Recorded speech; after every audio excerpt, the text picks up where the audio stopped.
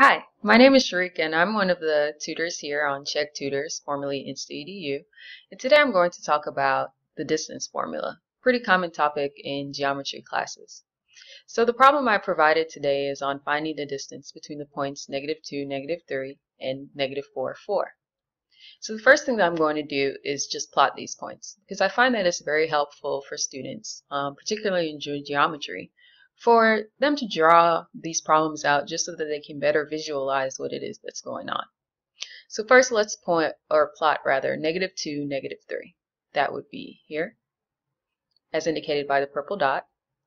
And then let's plot negative 4, positive 4 in the y which is here. So if we now um, draw a line between these two points, we can see that this is the line whose distance we're actually calculating since this is the line that will connect these two points and will represent the distance between these two points. So there's definitely a formula um, that we can just plug and chug um, the coordinates that we've been given into to calculate the distance between the points. And I should note that if this were a live lesson, I would actually have asked the student to provide this for me because you know, I think it's good for me to make sure that they've been paying attention in class, for one, and also just so I can, you know, gauge their level of understanding of the material, just so that I can know how much help they need. So the formula for the distance, or calculating the distance, is here, and it's d, the distance, is equal to the square root of the difference between the x-coordinate squared plus the difference between the y-coordinate squared.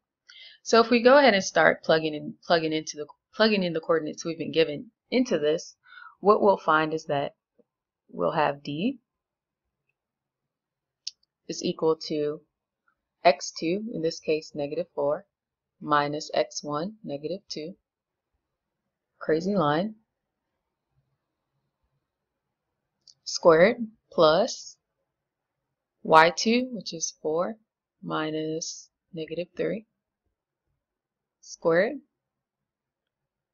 um, and I should mention that it doesn't matter um, which of the ordered pairs you designate as subscript 1 or 2, just so long as you maintain the actual ordered pair. So in this case, x2 is negative 4, therefore y2 has to be 4, since that was what was in the ordered pair. So if we continue from this point on, it's pretty much just simple math. So negative 4 minus negative 2 is negative 2. So negative 2 squared is 4. 4 minus negative 3 is the same as 4 plus 3. 4 plus 3 is 7. 7 squared is 49. So then that means that we have d is equal to the square root of 53, which if we plug into our calculators is roughly equal to 7.28. So what this means is that the distance between these two particular points is 7.28, which is the final answer. So this was just a um, short example of how I go about solving problems using the whiteboard on our online tutoring platform. Um, if you have any interest or you know in me potentially helping you solve all the problems or helping you out, feel free to contact um, me at the link I provided here for my Chegg Tutors profile. Um, my strengths are math and science. I'm a bioengineering student, so I can you know, pretty much cover most of the math and science subjects, particularly calculus, um, algebra, um, biology, chemistry, and so on.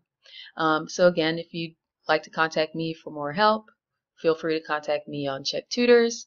Thanks, and I'll see you soon.